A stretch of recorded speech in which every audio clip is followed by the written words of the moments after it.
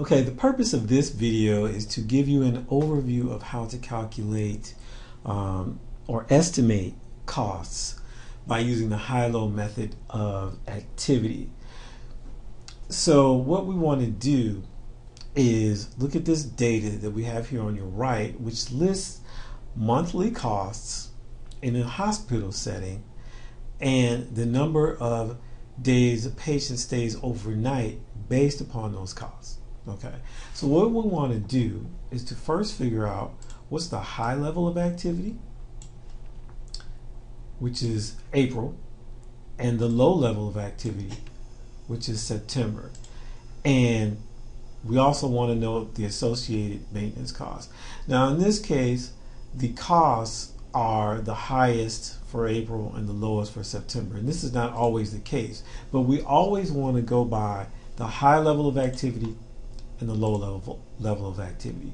So what we want to do is figure out the cost per activity.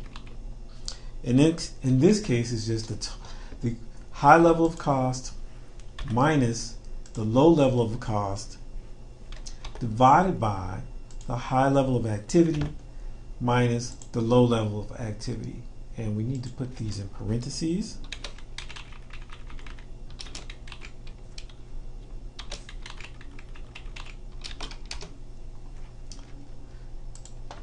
So what this means is that every time a patient stays overnight, there's an associated maintenance cost of $8.11. Okay. And that would be considered our variable cost because it goes up as the number of patient days goes up. So what we want to figure out next is what our associated fixed costs are. Okay. And so we can take either the high level or low level of activity, but we want to take the total cost, okay? And we want to subtract out the variable cost.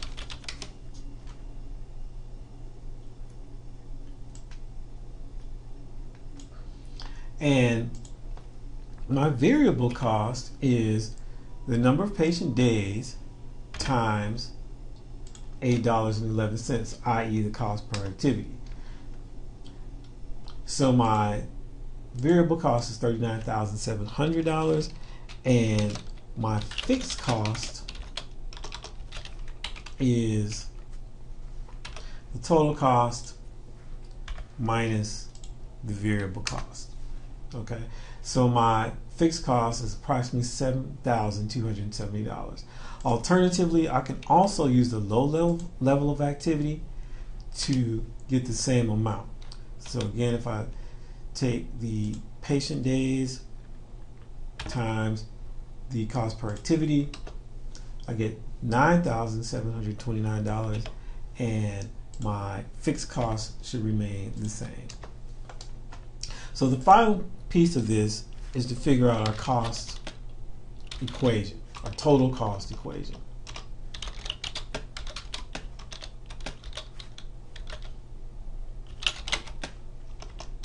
Okay, and that is just my fixed costs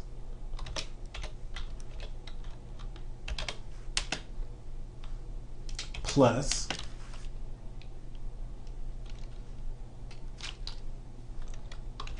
eight dollars and eleven cents times the number of patient days.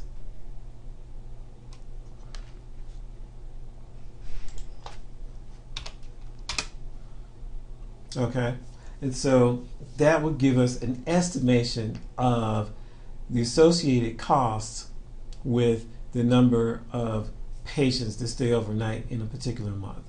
And the last piece of this, we can also graph this just to see what it looks like. So if we highlight these two, go to insert, and we want a chart, and we can click on the scatter, and I'll just pick the top one here. This will automatically graph this out for us to give us an example of what it looks like. So we have the cost, uh, excuse me, the patient days at the bottom and the, on the x-axis and the patient days, excuse me, the total cost on the y-axis. And then you can format this any way you want. So this, uh, in conclusion, just gives you an overview of how to calculate the total cost equation. Okay, and again, that's just the fixed cost plus the variable cost per activity times that particular activity. In this case, it's patient days.